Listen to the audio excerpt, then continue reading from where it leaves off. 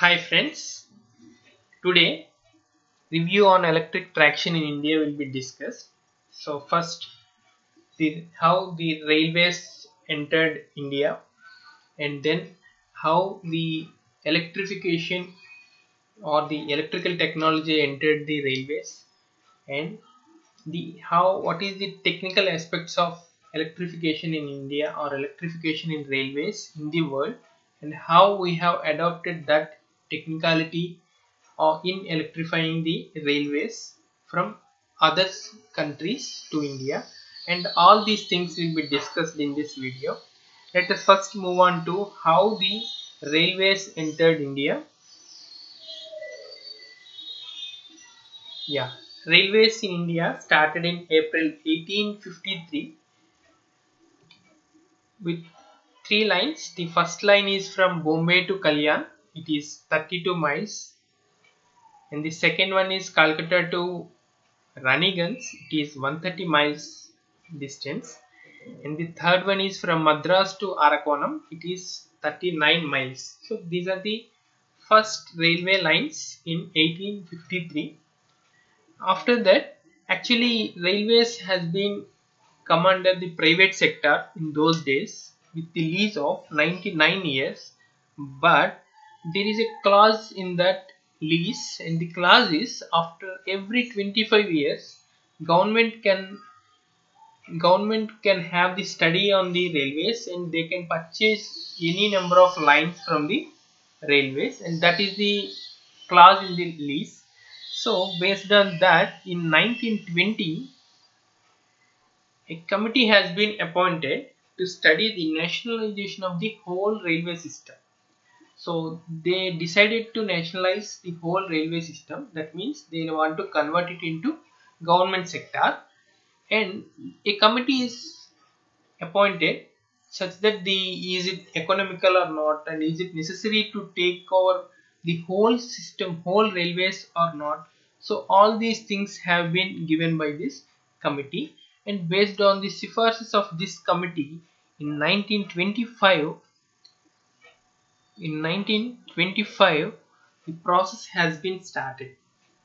So taking over the railways. And it has been ended up around 25 years completely to reorganize the system and rename the system according to journal wise so this is the main era of Indian railways where start it has started from 1853 and in 1920 a committee has been appointed and based on the sifarsis in 1925 onwards the process has been started in nationalizing the Indian railways. And finally it ended up at around 25 years to take over the railways completely. And let us see the electric traction in India. When the electric traction entered India. So this is in 1925 to 32 the electric traction has been entered. And this is around 304 route kilometer or 692 track kilometer. And the second line is 62 route kilometer or 210 track kilometer. And the third line is 32 route kilometer and 77 track kilometer. Route kilometer means it is just the shortest route from one point to other point the track kilometer is where we need to we need to run the track. So the track distance is 692 kilometer in the first case 6 210 kilometer in the second case and 77 kilometer in third case. So what is the first case? The first case is in central railway and that was bombay vt2 igatpuri and bombay vt to pune. So these are the first lines in 1925 in central railways. This is, this is the electric traction. That means electricity is used to move the train here. And in this is in the second route this was in western railways and it is from churchgate mumbai churchgate to virar. And the third route is this is a meter gauge third root is a meter gauge so the above two things are the broad gauge and third gauge third one is meter gauge and this is from Madras beach to Tambaram. So these are the main electric lines erected in 1925 to 32 so the total of 398 route kilometer or 979 track kilometers was erected in 1925 to 32 and but they are static up to two decades. That means up to two decades there is no development and same routes are, are running for 20 years. Okay? And that is the thing. And after that it has been changed. So again we need to go back to 1920 here we need to discuss the railway system in Calcutta and that is entirely different from other railway systems. So in 1920 his electrification around Calcutta was studied. So how it will be and why uh, is it required or not and how much we need to take up. All these studies have been started in 1920 but it has been 1954 to have a real scenario to erect the electric railway system in in and around Calcutta. Yeah, when when in 1954 it is seven years from independence. So the traffic has been increased three times in these seven years only. So that's why the Indian government has decided to have electric traction from Calcutta and those routes are Howrah to Burdwan and Sheoraphuli to Tarakeshwar. So these are the two main lines. So before that we have already discussed those lines from Bombay and Madras and all these things are the urban routes or suburban routes but these are the main lines. So it has much distance. So here 3000 DC system has been used. Okay, previously also we have used 3000 DC system. So up to up to this point in 1954 3000 DC system is used. So the final thing is in 1958 actually these lines have been started in 1954 and ended up in 1958. So at the end of the 1958 the total of 142 route kilometers or 443 track kilometers were completed in and around Calcutta. This, this figure is only for Calcutta. The above figure is other than Calcutta. Okay, the pre the the above figure is come with previous slide and the below figures are with these slides. So this is the total scenario in India. So let us see the technical features. Why you is DC or AC and which one is good, which one is bad and how we have get the information and what are the uh, real research was going on and all these things will be discussed in technical features. So in 1932 itself, single phase 50 cycle system was used in Hungary. Okay, that is the starting point in uh, AC system previous to that DC system is used but in the first time in 1932 in Hungary single phase 50 cycle system is used but it is not that much satisfactory in operation and also in economical point of view. And the same observation has been done in 1936 by Germany and it has 35 miles Hohenthal Railway in Black Forest and they have erected this one. But this is also not that much good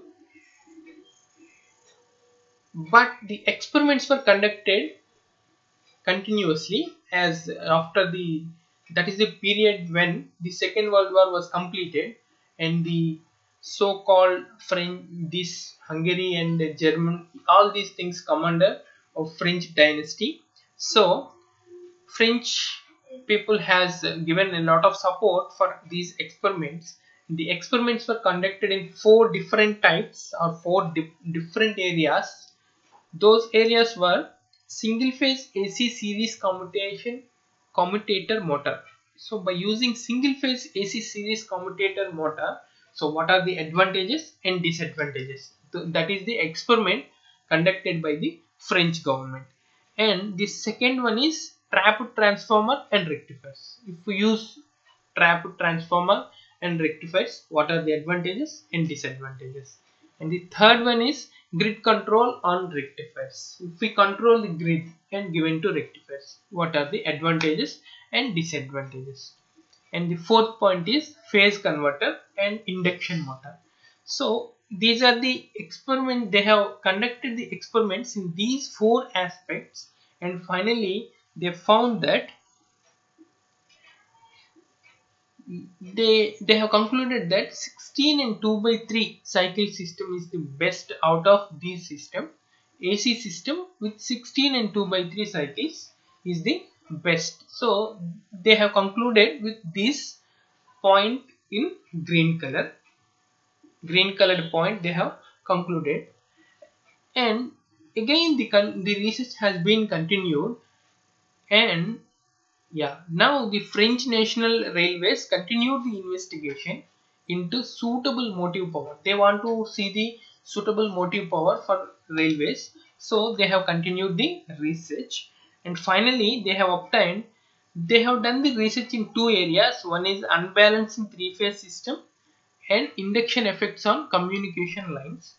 Maybe if we use AC system these two are the uh, definitely these two are the drawbacks in AC so they have conducted the experiments on these things and finally they have given a report in 1951 on potentiality in AC 50 cycle system. So what are the advantages in AC 50 cycle system that have been reported by this French government in 1951 and in 1954 itself our Indian government has adopted that report and they have obtained that report on on comparative merits and demerits of AC and DC systems. So based on that based on the French National Railways investigations we have obtained the report in 1954 to modify our railway system according to the world standards. So they have taken the report and finally we have concluded that AC system with industrial frequency that means 50 Hz frequency was advantageous in both operationally and economically. So this is the final outcome of these experiments and these reports finally what happened so the finally in 1957 railway board decided to adopt 25 kV 50 cycle for all future schemes. Now this scheme is running in throughout india. With this 1972 maybe some other tracks are erected and some other other lines are becoming electrified. So all these things finally 3928 route kilometer or about 10200 track kilometer have been electrified. That means they may have the older tracks converted to electricity electrical or the newer tracks fully electrified. Or all these things are clubbed up and finally this is the record this is the distance what we have electrified in railway system. So with these records and with these achievements our indian india is stood in second position in asia and 11th position in the world. The first position in asia is japan so, and immediately the second position is asia in railways. So this is the achievement of india in Indian railways especially in electric traction. So all these figures are for electric traction only. Some other traction system is also there in railways. Some normal traction system is also there but still as for electricity is concerned that means electric traction is concerned these are the figures and finally we stood in second position in Asia and 11th position in the world. So this is the complete history of electric traction in India. yeah if you like this video please like it. If you want to share this video please share it with your friends and family. And please subscribe to my youtube channel. So i like to complete utilization of electrical energy completely within one or two months only. And thank you for seeing this video. Thank you very much